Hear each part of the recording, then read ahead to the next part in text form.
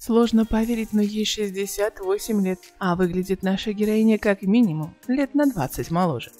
Она легко влюблялась на съемочных площадках и не скрывала этого от журналистов. Но женское счастье так и не обрела.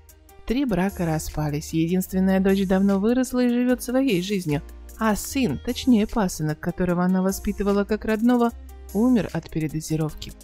Как сейчас живет Лариса Удовиченко после того, как третий супруг проиграл почти все, что у них было.